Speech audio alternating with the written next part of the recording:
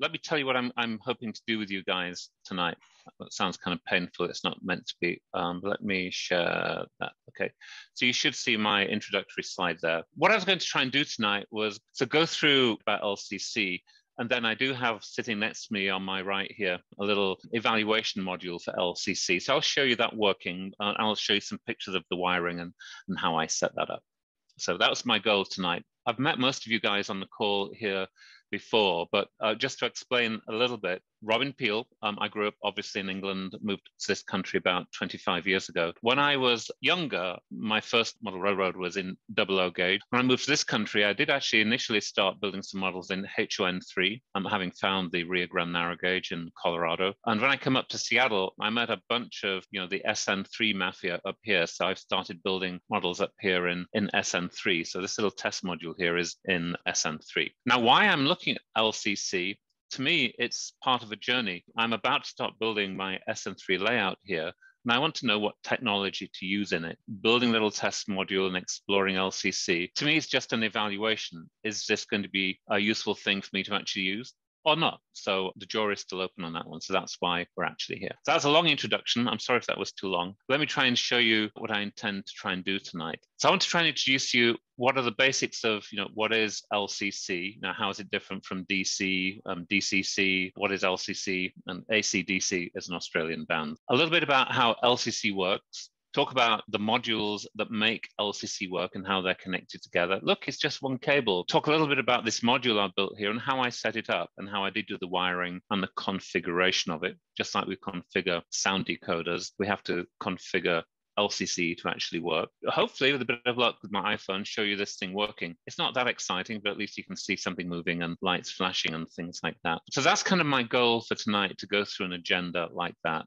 So, what is this thing called LCC? In theory, it's a new way to control everything on your layout except the actual trains. So, it's controlling all of accessories, whether it's signaling, block detection, lighting, anything on the layout that isn't a locomotive running. It is an alternate way to actually control that. And what is this thing LCC? layout command control. It's nothing more than a set of standards endorsed by the NMRA just like the NMRA endorsed the standards for DCC many, many years ago, is it 25 years or so ago? And that was successful for everybody. In the same way, LCC is a standard of how this should work, and manufacturers can build their own stuff to support this standard if they wish to. One reason for using LCC is on larger layouts, the DCC system is can get overloaded. If you have 20 operators running trains and operating switches and sending other things over the DCC bus. So LCC can leverage more modern technology for communicating. And it uses any technology, but the most common one people have tried right now is this thing called a CAN bus. Can't remember what it stands for, but it was invented by Bosch, the German car component manufacturer. Most modern cars have this technology in them. It's what sends messages from switches and whatever around the vehicle to communicate around it. It works really well because it works in a really noisy electronic environment like a car or maybe like a model railway layout. But what does LCC actually do? Well, it allows these accessories on your layout to communicate with each other. By accessories, I mean really simple things like a push button on the fascia. When I press that button, what happens? A signal head is also something on your layout and it can show different aspects, different lights, or put the semaphore signal up and down. Switch machines that move a switch to, from normal to reverse. Those are all these accessories that you want to control and actually have some kind of state they want to be in, you know, showing uh, green over red or throwing this switch to the right or throwing this whole switch ladder so I can get into a yard. So all of these things can talk to each other. There is a list of the things that can actually do. And there can be some logic in there, like interlocking logic to make sure you don't do dangerous things. For example, you can't throw a switch if a train is occupying the block that that switch belongs to, so you don't throw the switch underneath the train. That kind of stuff is possible with the logic within here. Now, a cool thing about this, which I kind of like, is you connect these things together and configure them. And the easiest way to configure them is actually with a laptop or using the JMRI software, just like you might use Decoder Pro to configure uh, a DCC decoder. But once it's done, you can remove the computer. It's not needed anymore. The layout will just run on its own without any computer in there. So this module beside me around here is LCC. I configured it. Right now, it's actually hooked up to my laptop, so I can show you how that works. But I haven't had my laptop plugged into it for several months, and it just remembers all of those settings when I turn it on. It just knows how everything should work. There are other options instead of DCC, of course. You can just wire everything together manually, like we've been doing for decades, if not longer than that. Some people use DCC, and some of the DCC manufacturers, like Digitrax, has LocoNet as a way of communicating amongst accessories. Uh, Lenz has XpressNet, which is very popular in Europe, does the same thing there's the old CMRI. Is that the Bruce Chubb thing? I think CMRI, the computer model railroad interface, uh, that really is driven by a computer, a Windows computer to make things work. Still quite popular. It has cards connected to it that drive the railway. Some of this stuff you can do with Arduinos. Arduinos can control interesting and complex logic to make interesting things happen based upon certain inputs, giving certain outputs, and so on. So there are alternatives, and these are all things that I'm exploring. Fair enough? Let's compare DC, DCC, and LCC together. I wish it didn't have so many C's in it. It's actually kind of confusing. Um, this is one way I thought about it, right? DC, I think we all know. It's just how we've controlled model railroads for a century. It sends power to a block of track, and all the locomotives in that block respond blindly. So the throttle blindly sells power, and those locomotives see that voltage and they move. To me, that's somewhat analogous to a dictatorship. Someone says, move, and everybody moves. It's great for simple layouts. And of course, the accessories like throwing switches, setting signals, they are completely separate to that. Can do whatever you want for that. You can have little simple circuits and solenoid pump motors quite separately to it. For a larger layout, you get to a very a big rat's nest of wires underneath. I was joking there, but it's something that Jules Verne would recognize. It's you know what he wrote about being on the Northwest and stuff back in the 1890s. DCC, you know, was a big step forward use a power bus that sends commands to locomotives. A command station directs the action and sends commands to locomotives. I liken it to some kind of hierarchical or military commander giving orders. He shouts, uh, you guys do this, you do that, you do that, you do that, and they all go and do their things. What's great for controlling locomotives on very, very complex layouts? It was claimed it just requires two wires to connect your DCC to the track. Uh-huh. I've not seen that. But here's a caveat. It's old technology. This stuff was designed in the 1990s. You could argue, oh, it, now it's quite mature. Well, I, I guess it is, but doesn't seem much cheaper for being so mature. So you guess the last one on here is layout command control can use any modern networking technology to send its commands around. We seem to have picked on CAN bus as what a lot of our vendors are using now. It could use Wi-Fi, Ethernet. Nodes are the little components on the layout that actually talk to each other on layout. And it's really, in networking terms, it's a peer-to-peer -peer network. What it really means is I can say, hey, Alex, you step to the right. Alex could say, um, hey, Ted, would you kind of stand on your head, please? So we all pass little commands to each other and no one else cares. Everybody else ignores it. If I said to Alex, stand on your head, Paul Vaughan would probably ignore that command, and that's just the way it should be. I don't want to see either of you stand on your head. Well, you can if you wish, but please don't. But that's how LCC works. Someone sends a command explicitly addressed for something else to do, and it picks it up and does it. This is for controlling the accessories on the layout. It doesn't yet control locomotives, but people talk about that might be a future extension so it does fully replace DCC. Well, it's not, and that's why I put at the bottom here, these things are complementary. DCC and LCC are meant to complement each other. And it is more modern technology. It's not the most modern. This stuff I mentioned, you know, the Bosch CAN bus that's in most modern cars. Yeah, that's kind of, I think that was created in the early 2000s. It's not that modern, but it's much higher bandwidth than DCC. And it is an industry standard. So the components to make this work are dirt cheap, tested, they just work. It's not something very specific that DCC is. So hopefully that kind of separated what these things actually are. So what are these things called nodes? You know, it sounds like a fancy computer networking thing or some creepy thing on some fungus that's attacking the world or something. So what are these things called nodes? These are the electronic components that make this whole thing work. This is like an example of a node in LCC. And this thing you're looking at here, uh, they're about the size of a credit card, just a little bit bigger than a credit card. And you can see this thing on, on the screen here. It has over here two network connectors. You're probably all familiar with those in your computer. These things are tiny. And this is an example of one from a manufacturer, in this case, uh, RR-CirKits, one of the uh, one of the only manufacturers of working equipment right now, but a pretty good one. And what this node does is you can plug two network cables into it, that CAN bus. But this thing can control 16 connections, which can be either inputs or outputs. By inputs or outputs, I mean It could be a push button. I connect to an input that will, I press the button, the node says, aha, someone pushed this button. What do I do? It says, I want to throw this switch. More interestingly, it might say, when they push this button, I want to set a route into yard track number seven, and I therefore want to throw all the switches to get to yard track number seven just by that one press of the button. Likewise, the outputs are things that say, ah, I got this message saying, throw this switch.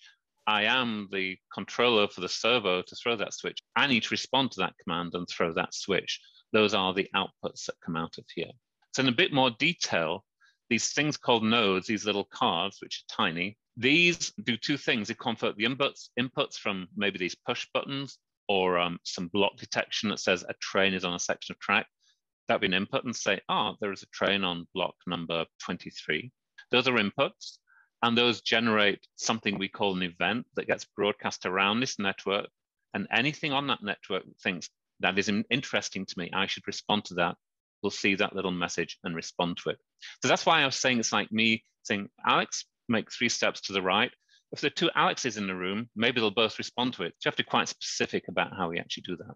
Likewise, things that are waiting to respond, we call them consumers. But they're continually sniffing this network bus for anything that they need to respond to. And when they see it, they'll do it. It could be throw this turnout to the left. They say, ah, I'm the turnout controller. I'm going to throw this turnout to the left, and off they go and do it. Now, the interesting thing is multiple consumers can respond to same events. If I say set the route to yard track number seven, there could be a whole bunch of switches that need to throw to set that route. And they're all saying, oh, yard track number seven, that means I need to be set to normal. I need to set to revert. And so they all listen to that event and set it. So setting up those complex routes, it has to be configured, but once it's done, everything just responds appropriately to those events. So that's what these nodes do. They are I guess the interface, they connect this LCC network to the stuff on your layout. Now, the number of these nodes you can have is theoretically unlimited, and you'll see what this looks like in just a moment. There's no real programming to make this work, and this may be a little bit different from an Arduino, but they don't need any programming, but they do need a very precise configuration. The way we do configure them, just like configuring a DCC decoder is using JMRI, typically on a laptop. So my MacBook, I'm talking from now, will configure these nodes. And by configuring, we, we say, oh, when this input comes in, what do I do? And when I see this event, what should I do? It's just saying how you respond to stuff when it actually happens. But it's that's a one-time thing, like I said earlier. Once you've done all of that, these little devices, these nodes, remember that configuration. Again, some examples, you know, inputs might be buttons or some kind of block detection device, taking the location of a train or anything else you can think of. So buttons on the fascia, block detection. The outputs could be things um, driving a servo to move, changing LEDs. Uh, I have a few examples on this layout switching the indication or the aspects on a signal head, or even controlling layout lighting. So nodes and the events from them are core to LCC, and you'll see these words, nodes and events. Just remember the nodes are the piece of hardware like this. This is a node. That is what translates the push buttons and stuff to events and ensures that when an event happens and is detected on the network, stuff responds appropriately.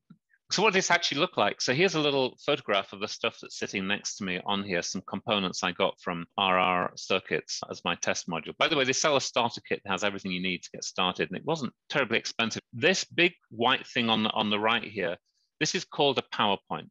That is connected to a power supply, in this case, uh, 15 volts DC, that powers the whole layout command control um, bus. That's all it does. It injects power into the whole thing. Then you see the big blue Ethernet cable comes this next gray box on here, and that is oh, this fancy name, LCC buffer USB. What that means is it just gives me somewhere to plug in a USB cable to connect this whole thing to my laptop. When you've finished configuring it, you can just remove the cable and the whole thing just continues working. And the other two things on here are a couple of nodes. Here is one node here and here is another node here on the edge of the picture. So this simple network has a couple of nodes on it, and those nodes themselves just connect to the layout. And um, they have these eight pin sockets on them. The easiest way to get into those is to use ribbon cables to connect them. So this one has a ribbon cable on it, and this one dives straight under the little module board here and goes out and actually connects directly to some stuff on the layout. Other things I can do is connect these ribbon cables. This one over here is connecting to what's called a fan out board. This just takes a ribbon cable and breaks out the connectors to nice little Wago style connectors where I can connect cables. I think this is controlling the LEDs I have to show lock occupancy. And a neat little thing this device has that LCC has it actually can put the resistors on here to limit the current to the LEDs. So it's all neatly encapsulated on here. You can see I've got resistors into here, and that's just $5 module here. You can make that all work. I can do it right here and then just take the cables straight to the LEDs under the layout. This final thing here, the one with the little blue and white doohickeys on the top, that is called a BOD 8. That's a block occupancy detection device. So this uses current sensing using coils and um, I'll hold it up on my video feed here. A little coil like this, you pass the DCC feed for each block through there, and it detects the current in there and detects if a train is in that block. That is what can figure out, you can adjust the sensitivity, is there really a train here or not, and then converts that to an input to the LCC system. So that's what the components actually look like. What I wanted to show you is, so what did I do with that? So I have at the top here, a little a very simple track layout, two parallel tracks with a crossover between them. That's all it actually has on it. Um, it's very, very simple. And down here, I have those modules we just talked about, the PowerPoint, the USB connector here, the two nodes, and my connections to the layout. I also put on here my NCE DCC command station. This whole thing's an exercise in abbreviations, isn't it? But here's my NC command station held on with Velcro. I just put it on here, so if I take this around to demonstrations, I can haul it with me easy without having to connect things up. And there, the DCC bus goes down a hole and connects to the layout. So this is just um, a module I built. It's four feet by 18 inches. Of course, it's SN3. Added some basic ground cover. I have some connectors here on the right to bring power into it. Again, I made this simple, two little barrel connectors over here, so I can just plug it in and unplug it really, really easily. By the way, uh, thanks to Russ Segner, I don't know if he's on the call, but Russ built me this module. Many thanks for that. Uh, mentioned we have block detection. The two turnouts and the crossover there, I control by servos, which in turn those servos are controlled by a thing called an octopus. So I have one of those underneath and my LCC system is connected to that octopus. Then I put in a whole bunch of LEDs and I thought I could make a fancy control panel, but this is a narrow gauge layout. We didn't have fancy control panels. Um, we just had old blokes pulling levers. So instead, I embedded LEDs on the layout hidden in bushes, uh, which light up. And if you've got really good eyesight, you can see some of those on here. Um, there's a red one right here. There's a green one right here. There's a red one right here. There's another red one in a bush here and so on. These two are, you can see green and red one here. Uh, my cat has been chewing the bushes, so they're more visible than they should be, but they're kind of disguised, but they're clear, they light up when I run the railway. And it's just to me an indication that yes, the detection is working. In the real world, when I build my railway, I want to do things like that. I want to automate some parts of my railroad when I build it. So, you know, a timetable train can run automatic and the block detection can make that happen with JMRI. So I want that detection to actually work and drive automation. So I can focus on other more interesting things. So that's what this module actually looks like. Let me go on to the next thing and look underneath. Some of you guys are probably much neater than me at doing your wiring. I did at least label it, so I knew what was what. I've labeled what the LEDs are. These are those red block detection coils, B1, B3. You can probably see I leveraged um, internet cables quite a bit. They're really useful for a lot of stuff on layout wiring particularly block detection, so you have four pairs of wires in there, so you can, you detect four blocks in one Ethernet cable. It's just really neat and tidy to do it that way. Here's my frog juicer for the frogs, uh, my octopus that controls the servos. It's really not as complicated as it looks. And by the way, here are my two push buttons I have mounted on the on the top of the layout. Either one of them will just toggle the crossover on my little layout one way or the other. Just press it and it will toggle it. That's actually what's underneath there. I could talk about configuring this thing, but what I might do before I get into that, instead, I want to try and use my iPhone and show you what this stuff actually looks like. So let me turn on the video on my phone. So that should be working now. I spotlighted it for everybody. Here is my little module, if you can see that. Here are those electronics that I was talking about down here that make it all work. Here's the PowerPoint that brings power in. Here is where the USB connection is linked to my laptop. You can see the cable coming up to my Mac over there. And here are the nodes with all the fancy flashing lights lit up, which may not come across very well. And here's my DCC controller on here. So the way, no, I can press this little push button here and it will just throw the crossover that I'm sitting on right here. So if I press the push button, a switch is throw. Not the most exciting thing in the world to see, I know that. There's quite a lot happening when I push that button. It's sending a signal through the bus, it's coming through all of these connectors, and then it's going out to that um, Tam Valley octopus and throwing the switch. Now, when I run the train, if I see this little um, C21 sitting here, you should be able to see there's a little red LED illuminated down here. That's a block detection working. If I move the train backwards, you can see that the little red LED at the end there has illuminated. That's just a block detection working. It's not, again, not the most exciting thing in the world to see. I just set it up that way so that um, I could actually see things actually happening on the layout. Another little thing in the middle here, you see a green LED. That indicates that the switches are set um, uh, in the normal position. If I throw the switches with the button here, they actually turn to little flashing yellow LEDs next to them.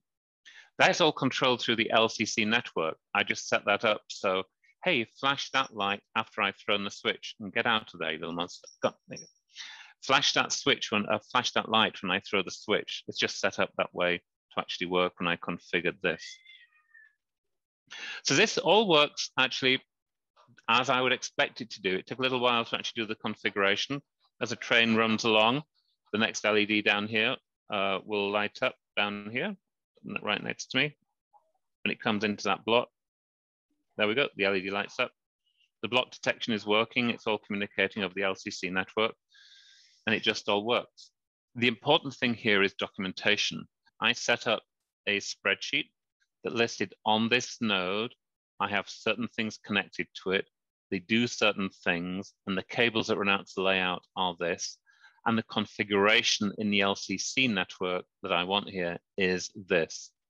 Behind the scenes here, is where you configure that in JMRI, where I'm saying here for line nine, which is this line here in the spreadsheet, when this event occurs, blah, blah, blah, blah, blah, I want to change this to be on and active and make that LED light up. There'll be another event that says, no, turn that LED off. So we can configure all of this. And this is the part which I think is still kind of ugly. I think this interface is pretty bad for configuring this. It could be easier. If you're technically savvy, you can make it work. And there's a lot of people out there offering help online and so on. But I think it could be a little bit easier to actually do. And I'm sure it will be. How do I control my LCC stuff on my layout? Well, I have a couple of push buttons on the edge of the layout that control my switches. They're connected directly to the nodes and then control the turnouts. I have block detection that triggers LEDs to light up. And that's probably all I need for a simple narrow gauge layout. If you want to get fancier, you can set up sophisticated interlocking panels or control panels in JMRI like this. That could directly link to your LCC network and give you feedback on here about where the trains are, the signal indications, the orientation of the switches, and so on. And that's something I'm actually working with right now because I need to do that to make the automation work. So I've been trying to build a really simple panel for this simple layout. It's actually not that hard to do. It's just I'm just still on the learning curve for making it actually happen. Should you explore layout command control? Well, I'm exploring because I found DCC a little old fashioned and almost obsolete. I find most DCC hardware kind of expensive and it has a terrible user interface. I have this NCE system here. I actually really hate it. I find it really clunky to use and it's been very unreliable. There are some exceptions. There's some more modern, mainly European um, solutions out there from ESU that has modern touch screens. And TCS is actually building a throttle system that actually supports LCC. One of our local guys, John Searcher is involved in that. I also want to explore automation, so that's why I'm actually doing it. The other question uh, is why bother with this? Why not just use Arduinos? I think they're great, but they are standalone computers have lots of great add-on boards, you know, for example, for controlling servers and so on. They don't really interact with each other out of the box. You have to do things to make that work. And for anything, yeah, they do need a sketch or a small program to be written to make that work. Now that doesn't scare me. It's something I'm quite happy to do. For a lot of people, writing a program like that and uploading it to the Arduino is a little daunting. For me, I'm, i want to explore LCC and maybe see how these two things can actually coexist. So that's about it for me. Um, I just want to show you actually what I've done, what I've been playing with, and I've shown you a little bit of the evaluation module. Found this lovely notice here from the London County Council Board of Health, the LCC Board of Health. So I thought it was quite relevant to where we are today as well. I'm going to stop there. And does this inspire you, or do you have any questions? I'll be happy to try and answer. And if I can't answer, I'll get Brian Pickering um, down in the South End. He really is an expert on this at a national level. He can help you as well. But any any questions on this? Would something like this be a good use for an old iPad mini?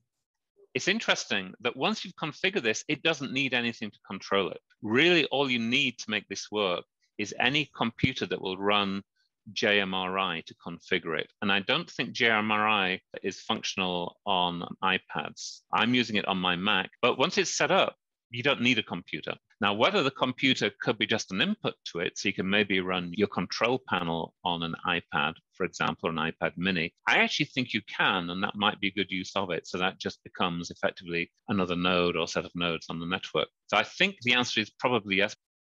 Could you explain the details of the block detection system? I broke this little simple layout here into six blocks, three on each of those double tracks on each side. So I fed the DCC for each of those blocks effectively a sub bus through one of these little detection doohickeys. And that was wired directly to that blue and white thing there, the block occupancy detection device. I'm going to stop sharing my screen now because I, I don't really need to do that. That's fed directly to that block occupancy detection device. And literally, as the train moves across it, you can see the lights flicker on that device. And you can actually see it's quite pretty, really. You can see lights flicker as it sends that command out across the network. So I can actually maybe even show you that. I'll use my computer, it might be easier. If you can see me, if you can see the layout there. So I move this locomotive over here. Do you see that this little thing, ooh, that little thing over there uh, lit up to two lights? You see over here, there's a couple of green lights over here. Are you seeing that? Uh, and that's a block occupancy actually working, detecting it. So I'm just using those detection coils linked to that device, and that converts the detection into an event going around over the network that I then use to trigger, oh, light up this LED or turn off this LED or whatever it might be. That's a really half-assed explanation, Sid, but does that kind of help a little bit? Well, yeah, the question really is, is, is it isolated? It appears that it's isolated from the track itself and, and, and the power going through the DCC system, and which is ideal for what I was wanting to use it. And uh, yes, it is isolated. It's going through these little coils, right? So it's not actually taking power away from the DCC supply. It's just looping. I actually loop them through here twice to get a better signal, but it's literally just an inductive loop and it detects it through induction. It detects the current being drawn through it that little doohickey there. Right, right, right. Well, the current being drawn through it, meaning that it somehow is connected to the track, which is the bus for both the commands. Yes, uh, the, su the sub bus for that section is looping through this, yeah. Is there any way to make a very small section without really interfering with the rest of the block? Um, is, so you, you, could do that in many different ways. For example, you, you could put, um, I don't know, uh, reed switches or some such under there, so or photo optic detectors under there. You can use anything you want to detect detect that. I just chose to use these, um, in, you know, these current sensors as my way of doing that. Um, so I want, I would probably want to break the entire railroad into blocks and detect occupancy throughout. If you just had a very specific need, you could use um, you know photo photo detectors in there and use that as that veto technique. Say, hey, I'm not going to throw this switch because I can detect there's a locomotive nearby. This is all very much in its infancy right now, Sid. Um, uh, so um, there's a limited amount of uh, modules available in here. There is quite an array of them from certainly from RR-CirKits, but basic block detection like this is something they've actually been doing at this company for years before LCC came along uh, connected to the LocoNet, the, DC, the DCC network. Um, but their little board um, will also work connect to their LCC nodes, which is why it's actually kind of neat. They're reusing some of their existing technology to make this work. And I think they, I can't remember if they have boards in this range that they have that do that other kind of detection as well. Maybe they do, maybe they don't. I don't remember. Well, I guess we're not there yet. Not quite, I don't think. So I think uh, Michael Boyle said, can multiple functions be controlled separately, for example, crossing gates? Yes, absolutely. Um, uh, it's just how you choose to configure it, Michael, uh, to break that up. So, you know, for example, for a crossing gates, it might come back to what Sid was just saying. You do have an optical detector that detects a train uh, on an appropriate track moving in the right direction, and that triggers the sequence to throw the crossing gates. That would be just uh, one input or maybe two inputs driving one output. You know, the input would be triggering that detector of a train moving towards a crossing gate. The output would be you know, trigger whatever that process is to make those crossing gates go down. And when you clear of the other side, another input comes and says, okay, reverse that and put the barriers up. Totally isolated. And in fact, most layouts would be like that. Many different things happening totally independently of each other and unrelated to each other. That's kind of the goal. This is system have to evaluate a minute uh, called C21 or Z21, as you would oh, say. Oh, yeah, yeah, yeah. And that has a CAN bus, that has switch detectors, that has signal detectors. A lot of stuff you talked about there, yep. it seems to be already in, in the system I'm using. I think that's the that's the Roco or Fleischmann. Yeah. The Z20 was Roco or Fleischmann, isn't it? They're the right, same Roco thing Fleischmann, now. Yes. Yeah, yeah. Right. So yeah, that does have that, and it does use CAN bus. But so right. here's here's here's a difference. Um, CAN bus is just the communication method. Now LCC, these products I've got here happen to use CAN bus. It could use anything to communicate. It could use um, could use Wi-Fi. It could use Ethernet.